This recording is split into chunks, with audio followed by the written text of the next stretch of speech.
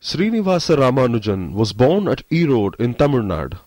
Ramanujan's instruction to formal mathematics began at the age of 10 with almost no formal training in pure mathematics.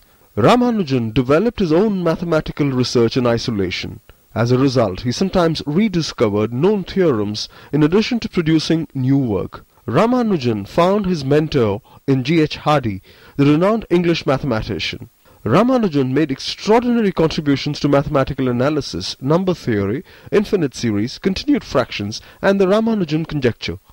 Lately, Ramanujan's cryptic deathbed theory, which he claimed was conceived in his dreams, has finally been proven correct, almost 100 years after he died. In 1920, while on his deathbed, Ramanujan wrote a letter to his mentor, English mathematician G. H. Hardy, outlining several new mathematical functions never before heard of, along with a hunch about how they worked.